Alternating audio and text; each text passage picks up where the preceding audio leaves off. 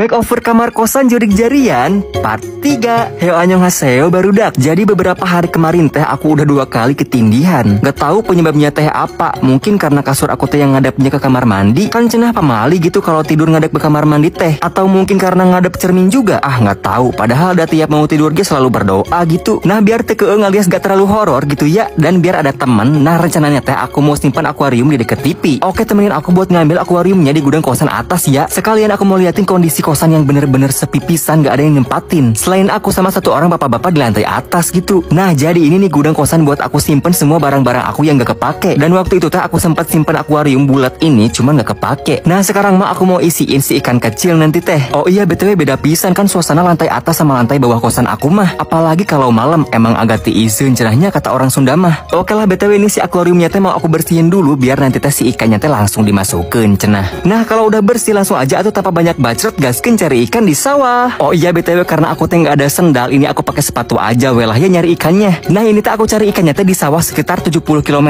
jaraknya dari kosan aku teh. Soalnya ikan di sawah ini mah lucu-lucu gemes-gemes kayak kamu gitu. Nah ada yang tahu gak nih aku nyari ikannya di mana? Coba yang tahu komen ya. Oh iya ini teh aku cari ikannya teh yang kecil aja. Soalnya kan si akuariumnya oge kecil atuh. Pokoknya mah sok mangga dilihat aja welah ya.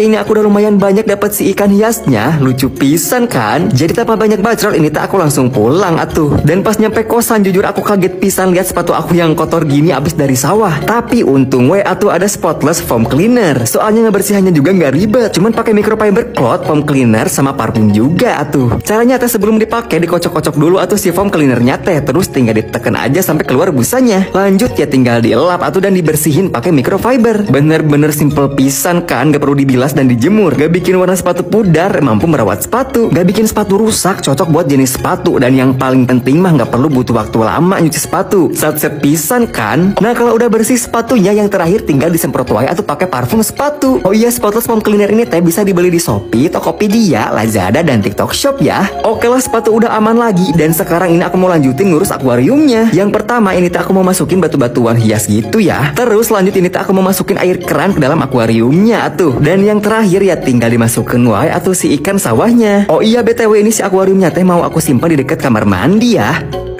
Nah kan sekarang mah jadi ada temen atau nggak terlalu serem teing atau ya. Jadi kalau takut mah ya tinggal ngobrol gitu sama ikan. Sekian kamsahamnida.